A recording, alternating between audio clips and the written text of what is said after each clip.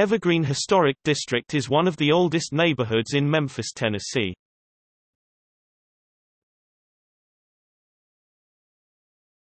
Topic: Geography The Evergreen Historic District is bounded on the south by Poplar Avenue from its intersection with East Parkway to Avalon Street.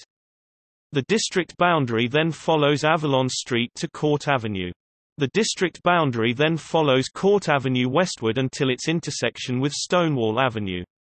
The district boundary then continues north on Stonewall until its intersection with Poplar, at which point in the west direction Poplar is again the southern boundary until its intersection with Cleveland. The Evergreen Historic District is bounded on the east by East Parkway, from the west by Cleveland Avenue, and from the north by North Parkway.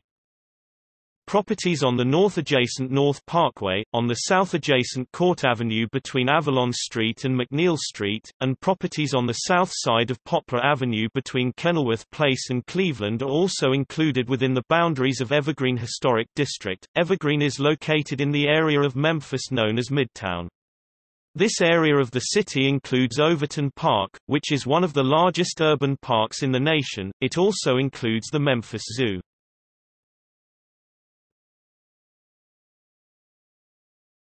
Topic: Community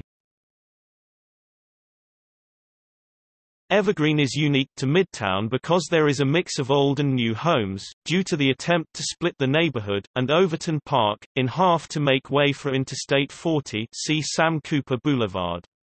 The neighborhood was able to fight the interstate, and the case eventually went all the way to the U.S. Supreme Court, which ruled in favor of the neighborhood. Many of the homes were demolished, but in the early 90s, bids started and builders repatched the holes in Evergreen. Today, the neighborhood is listed on the National Register of Historic Places and is probably the best value for the Midtown area. Evergreen is sometimes referred to as Stonewall, after the street which has some of the neighborhood's nicest homes.